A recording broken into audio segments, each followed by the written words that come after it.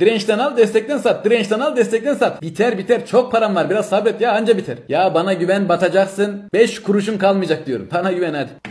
Evet sizin işlemlere bakalım. Panik satışlar, yanlış tercihler. Siz bu parayı tahminen 8 ay içerisinde bitirirsiniz. Ama bana bırakırsanız 2 haftada sıfırlar. 7,5 ayda size kalır. Bak 10 bin lirada paran alırım. Tamam mı? 10 bin mi? 10 bin tabii. Ne yapacaktık ya? Kimse kimseye bedava para kaybettirmez bu devirde. O kadar da olacak. Tamam aldın 18'den doları. 14'ten boz. 17'den geri al. 12'den boz.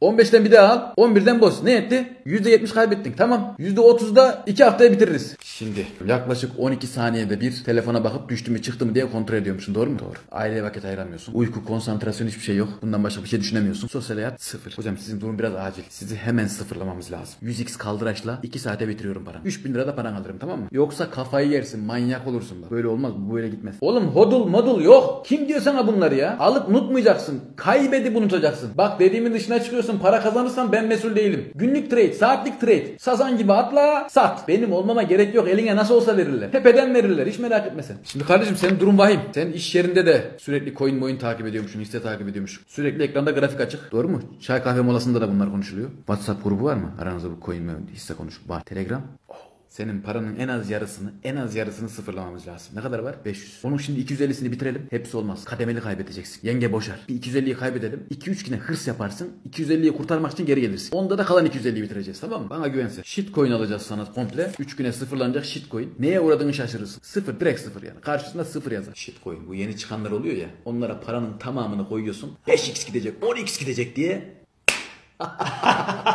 Boşandılar şimdi. Mutlu. Hanımdan kurtuldu, paradan kurtuldu. Sadece işine gücüne bakıyor. Kitap okuyor, film izliyor, dizi izliyor. Çok güzel. Kafası yerinde. Ya müthiş bir şey. Öbür türlü bir şey soruyorum. 5 dakika sonra cevap veriyor. Ne yaptın? Battın mı?